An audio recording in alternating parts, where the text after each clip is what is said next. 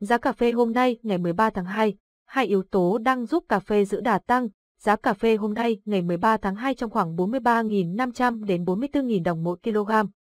Số liệu tồn kho trên cả hai sàn cà phê vẫn ở mức thấp, cùng với báo cáo về tình hình xuất khẩu cà phê của hai quốc gia hàng đầu đã hỗ trợ đà phục hồi tuần qua. Tại huyện Di Linh, Lâm Hà, Bảo Lộc, Lâm Đồng giá cà phê hôm nay được thu mua với mức 43.500 đồng mỗi kg. Tại huyện Cư Mờ Ga, Đắk Lắk giá cà phê hôm nay ở mức 44.000 đồng mỗi kg. Tại huyện IAH Leo, Đắk Lắk, Buôn Hồ, Đắk Lắk giá cà phê hôm nay được thu mua cùng mức 43.900 đồng mỗi kg. Tương tự tại tỉnh Đán Nông, giá cà phê hôm nay thu mua ở mức 44.000 đồng mỗi kg tại Gia Nghĩa và 43.900 đồng mỗi kg ở Đá Giờ Lấp. Tại tỉnh Gia Lai, giá cà phê hôm nay ở mức 44.000 đồng mỗi kg. Chư Prong, ở Pleiku và La Grai cùng giá 43.900 đồng mỗi kg. Còn giá cà phê hôm nay tại tỉnh Con Tum được thu mua với mức 44.000 đồng mỗi kg. Thị trường cà phê trong nước đi ngang so với cùng thời điểm hôm qua.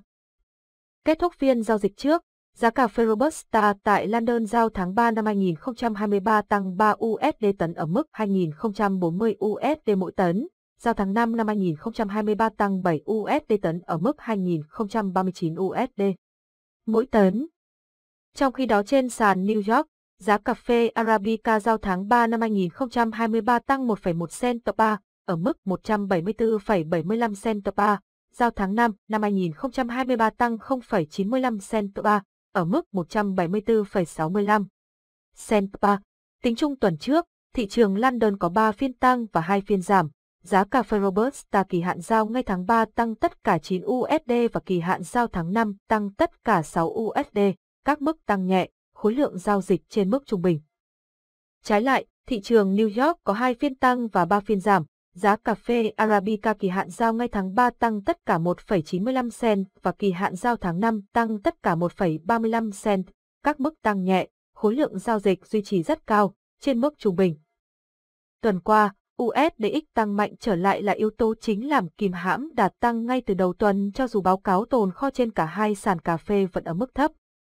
Tính đến thứ sáu ngày mùng 10 tháng 2, tồn kho Robusta được sàn London chứng nhận và theo dõi cấp phát đã giảm thêm 840 tấn, tức giảm 2,98 so với một tuần trước đó, xuống đăng ký ở mức 59.550 tấn, tương đương 992.500 bao, bao 60 kg.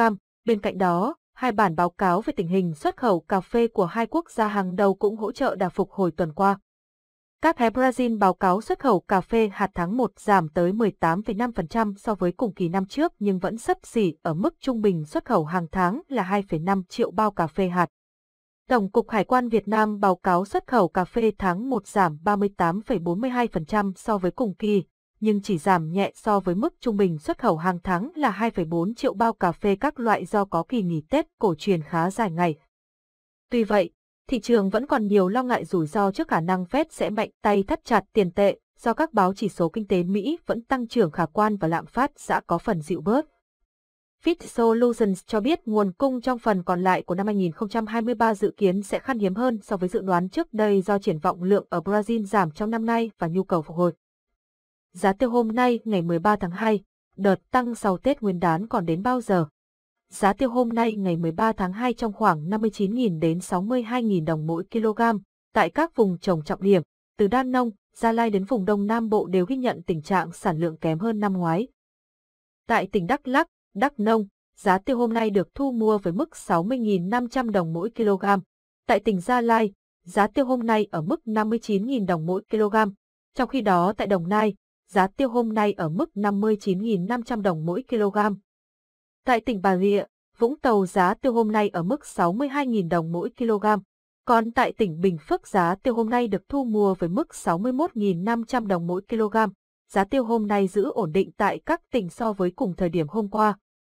Tổng kết tuần trước, thị trường trong nước thêm 2.500 đến 3.000 đồng. Sản lượng vụ mới kém khả quan đang là nhân tố giúp thị trường hồi phục từ ngày sau Tết Nguyên đán đến nay. Các chuyên gia nhận định, đà tăng của hồ tiêu tiếp tục được duy trì, nhưng không kỳ vọng như năm 2021. Với bước tăng này, mức giá có thể lên 65.000 đồng mỗi kg trong tháng 2 năm 2023, còn động lực tăng tiếp phải chờ đợt điều chỉnh chính sách tiền tệ mới của Fed cũng như bức tranh sản lượng vụ mùa năm nay tại Việt Nam rõ ràng hơn.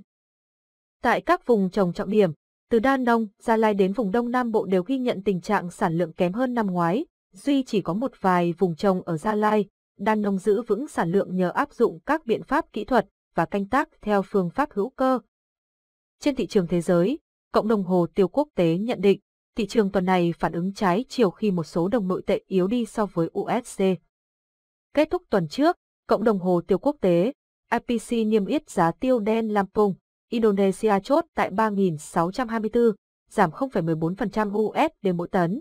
Giá tiêu đen Brazil Astan 570 ở mức 2.900 USD mỗi tấn. Giá tiêu đen Trinh, Malaysia Astan giữ mức 4.900 USD mỗi tấn. Giá tiêu trắng Munto 6.110 USD mỗi tấn, giảm 0,13%. Giá tiêu trắng Malaysia Asta vẫn ở 7.300 USD mỗi tấn. Giá tiêu đen Việt Nam giao dịch ở 3.250 đến 3.350 USD mỗi tấn với loại 500g L và 550g mỗi L. Giá tiêu trắng ở mức 4.750 USD mỗi tấn. Giá tiêu tại Indonesia liên tục được điều chỉnh tuần qua. Tại quốc gia này, tình trạng mất mùa cũng được ghi nhận, khiến lượng hàng xuất khẩu giảm đáng kể. Lượng tiêu thu hoạch chủ yếu dùng để tiêu dùng trong nước, thương nhân khó khăn khi tìm mua hàng. Theo ghi nhận, sản lượng hồ tiêu của Indonesia giảm do hạn hán liên tiếp trong nhiều năm và giá cả không khả quan. Dự báo, sản lượng vụ mùa 2023 sẽ vào khoảng 48.000 tấn, thấp hơn so với mức 52.000 tấn trong niên vụ trước. Việt Nam tiếp tục là nước nhập khẩu hạt tiêu lớn nhất của Indonesia, 37%, tiếp theo là Trung Quốc, 20%, Mỹ, 12%, Ấn Độ, 9% và Đức, 3%.